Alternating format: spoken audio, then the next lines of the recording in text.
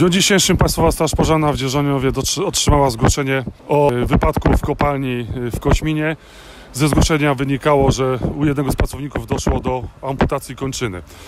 Y, Na miejsce zostały zadysponowane, dwa zastępy Państwowej Straży Pożarnej z Dzierżoniowa oraz Ochotniczej Straży Pożarnej z powiatu dzierżoniowskiego.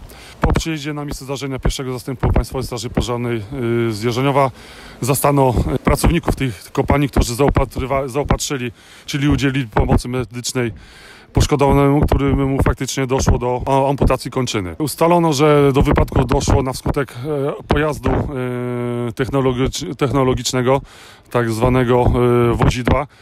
E, Kierowca tego pojazdu w trakcie e, podjazdu, wyjazdu z kopalni prawdopodobnie doszło do awarii tego pojazdu. Pojazd zaczął się staczać w dół.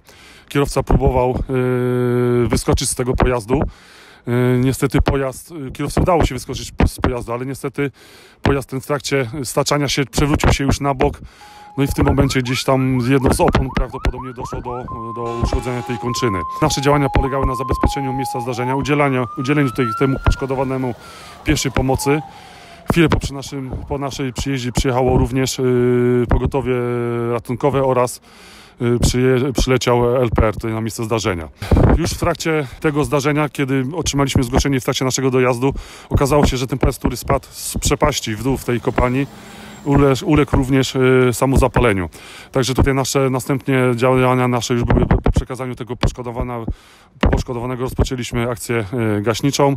Nasze działania polegały na podawaniu dwóch prądów piany ciężkiej na ten pojazd. Kacja była trudna dosyć y, ze względu na specyfikę y, kopalnia kamienia utrudniony dojazd, utrudniony dostęp do tego pojazdu, także tutaj nasze działania dosyć długo to trwały.